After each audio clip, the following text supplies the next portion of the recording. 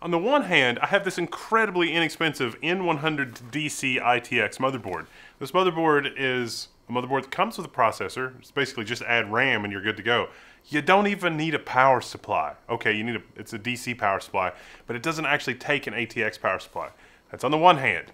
On the other hand, I've got this Supermicro half depth 1U. This is a 505-2. This thing is basically a decade old.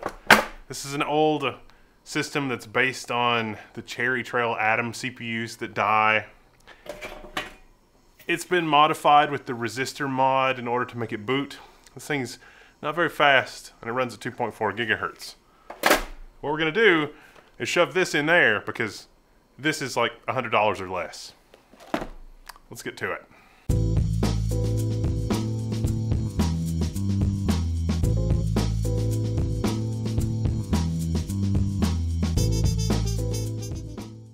Okay, first up, why do you want to do this? One, it's because this is a quad core processor. Okay, it's the efficiency cores, basically. Not really, exactly, sort of, kinda.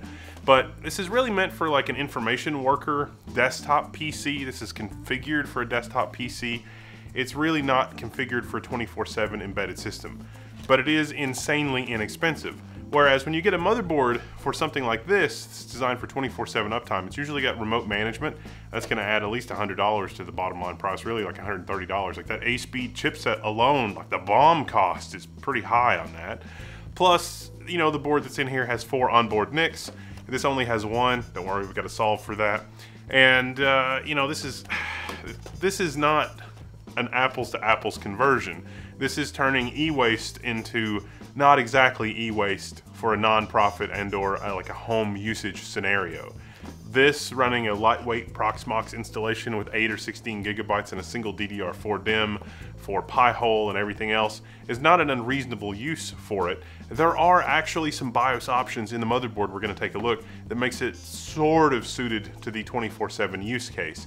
We'll see how the reliability stacks up because I'm going to actually use this for 24-7, but for now, let's dive in. So our 1U Supermicro system actually still has a, a fair bit of usable parts in it. You don't necessarily have to use the N100 DC ITX from ASRock. You could find another motherboard that fits in here.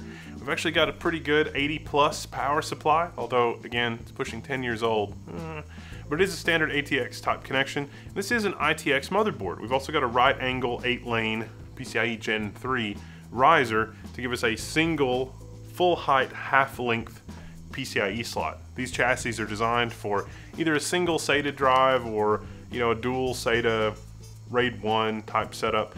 They're meant to be networking appliances, uh, as evidenced by the I.O. where we've got a remote management network and then four dedicated NICs. This is the 2758F variant of the motherboard. Don't worry, I'm gonna save the motherboard. In fact, if you've got a pretty good use for it and you hit me up on the level one forum, I might even just give it to you.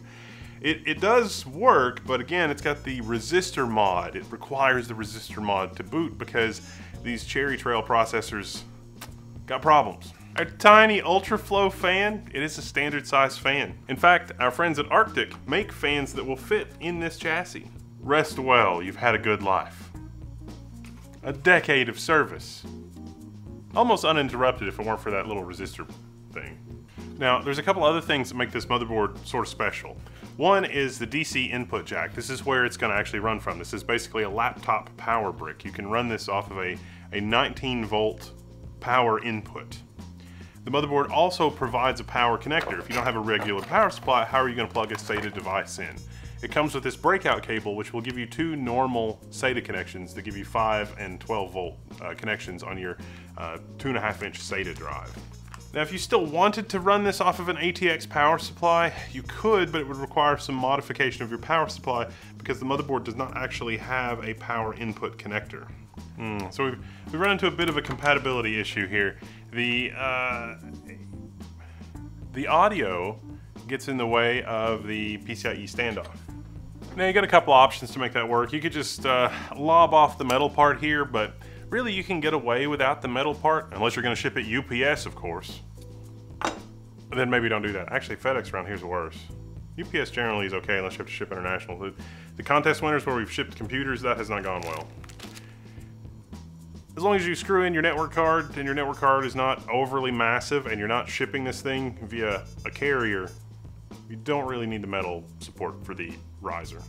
Now, we'll go ahead and warn you that when you're making these kinds of modifications, you really also need to think about heat dissipation. We've only got the single fan here, which is blowing directly over our CPU cooler, and that's probably going to be sufficient. But we don't really have anything over on this side for the network card. We do have another 4-pin fan header. We can add another blower style fan or another small form factor fan like this, but we probably are going to need another fan somewhere over in here to deal with cooling our network card and to just pro provide a little extra airflow.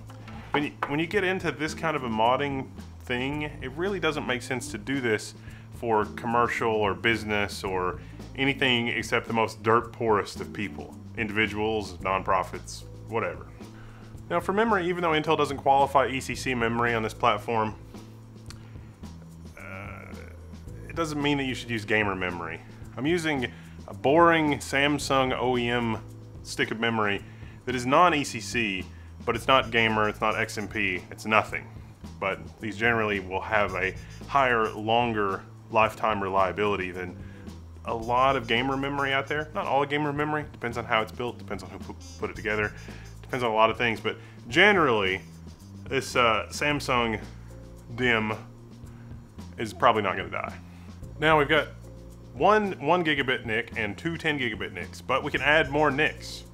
We're gonna try adding an E-key two and a half gig NIC, and we've also got dual two and a half gig M.2. So we can add two more two and a half gig NICs to this, plus maybe another one. Now let's talk about the front panel connection for a second. When you got one of these, the front panel connections, these are not even remotely standard. They're not even a little bit standard. So the front panel connections for the motherboard that you're going way off script to use, and the front panel connections on your 1U e-waste that you're recycling, um, probably don't match. And so you're gonna have to spend a little bit of time searching for front panel pinout or remake the front panel in a way that makes sense for whatever you're doing. One of the things I like about this platform is that ASRock hasn't locked down the BIOS and you can configure a lot of options, which is handy when you're going off label. Like I say, this is really meant for very low cost information worker desktop computer with a little bit of flexibility. Imagine this in a very small, you know, six inch by six inch square with a laptop power brick screwed to the bottom of somebody's desk. That's sort of the envisioned use case here. But because they haven't locked it down, it's actually very flexible for a lot of other use cases. So for our use case, we want it to always power back on whenever it loses power, and we even want it to turn itself back on if for some reason it's off. And that's power on by RTC, so those are BIOS options. There's another BIOS option called Boot Guard that if you enable that, it will enable the system to reset the BIOS or reconfigure the BIOS or try more conservative memory settings, whatever, just to try to get the system up and booting. Because we're booting off of SATA, that's the default boot device, and so if something goes catastrophically wrong, it'll just reset the BIOS and try to boot from the SATA SSD. On the SATA SSD, we can also configure it with uh, RS-232. So like when you boot into Linux, you can send grub to the serial prompt, and so you can use the serial port on this motherboard to connect to something else so that you can still remotely manage your system even though it doesn't have an onboard management controller. Basically, if it's getting power, it's gonna boot, and if it's not booting, something has gone catastrophically wrong with the storage device or other physical piece of hardware. Because if the motherboard is working correctly, it will boot. And if it's not booting, it will reset itself, which will then let it boot from SATA. So there you go. If you're running a Linux operating system and you set up MD so that you mirror your boot partitions and you mirror all of your other partitions, and one of your SSDs dies, you will be able to boot off of the other SSD, or I should say the system will automatically choose the other SSD if the first SSD isn't available. If there's operating system corruption, you'd have to use the RS-232 link in order to select the other operating system to boot from in order to figure out what went wrong. It's basically serial console territory at that point. And yes, it would be nice to have like a full fat IPMI, but this motherboard costs less than $100. What do you want? The built-in LAN is a Realtek 8111H. That is unfortunately just gigabit, not 2.5 gigabit. You can splurge a little bit more and get a dual 2.5 gig NIC version of this motherboard, or a single 2.5 gig, uh, or a single 2.5 gig NIC version. But our M.2 G codes is actually a cheaper proposition and gives you more LAN ports. I've got this thing up and running, and I've been doing some Proxmox testing and burn-in testing and that kind of stuff, just sort of leaving it on the desk, uh, with and without the cover on it, just to see if that helps with the fan. I am gonna have to add a second fan because our uh, our second NIC, ooh, it's running super toasty, but it is seeing all five NICs, which is pretty awesome. I did try with error correcting memory just to see if it worked anyway, and it happened to post, but the ECC EDAC options in Linux, not so much. Uh, if we talk about uh, per core performance, I'm pretty happy. It's about two and a half times faster per core versus the old Cherry Trail for the stuff that I was doing. And some things are actually dramatically way faster because it can leverage new instruction sets and all that sort of stuff on the new CPUs. I mean, at the end of the day, this is an N100 CPU, so it's not dramatically different, but it does use a vanishingly small amount of power and the heatsink doesn't even get warm. I am running Proxmox on this too, which is a little strange, like just a four-core machine with Prox. Why would you? Why would you do that? Why? Why? That doesn't make sense. And I would concede that actually doesn't make sense. But I am running some virtualized workloads that I want to move between VLANs, and I don't want to uh, distro hop, and I don't want to tear down bare metal and restore it and and that kind of thing. Is, it, is this going to be another Forbidden Router video? Not yet, but experiments are underway, so we'll see. The N100 DC performance is surprisingly good for information-oriented stuff, like for information worker. I'm just going to enter some things. If you were going to boot up and run Windows on this, it actually does have some pretty good support for that. The HDMI out, for example, if you're running Windows 10 or Windows 11, HDMI audio is handled differently because of course it is on the uh, the Intel iGPU. There's a BIOS option that lets you toggle between the Windows 10 mode and the Windows 11 mode because it is a little bit of a hardware aspect to that, which is not you know if you upgraded to Windows 11 and your HD audio stopped working, you probably need a BIOS update, or it might not be fixable with a BIOS update because of certain hardware choices that were made. But ASRock has got a competent, well put together BIOS on this motherboard with a surprisingly large number of features for what this motherboard is meant to do for my off-label use case, I'm pretty happy so far. We'll see if it hangs in there for the long haul. I'm This Level 1, I'm signing out. You can find me in the Level 1 forums. If you're thinking about your own project with this, uh, come to the forums and ask questions. It'll be there for posterity. Post pictures. Let's see what's going on. There's so much room for activities in this tiny 1U case. I love it. All right, I'm signing out and I'll see you later.